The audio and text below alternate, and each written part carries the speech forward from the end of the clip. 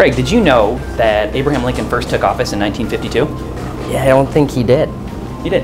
It's true. Did you know that I Love Lucy was the number one sitcom in 1952? I did. I knew that. Awesome. Did you know that the United States first introduced the dollar bill as currency in 1952?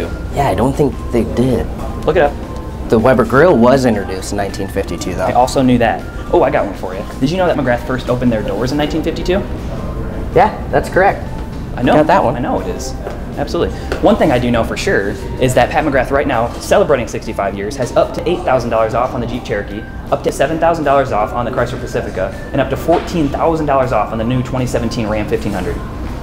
That's that's right. It's- yeah, it's crazy. it. Okay, so I don't know if you guys already picked it up or not, but Mark really doesn't know much about the 1950s. One thing he does know is the great deals we have going on for the 65th anniversary for McGrath.